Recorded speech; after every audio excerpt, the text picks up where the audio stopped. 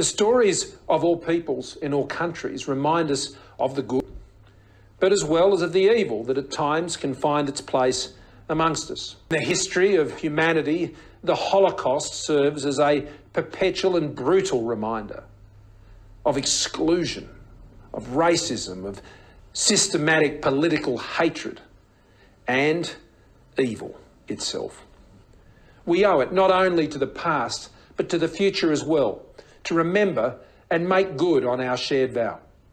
My government pledges to embrace the definition of anti Semitism adopted by the International Holocaust Remembrance Alliance.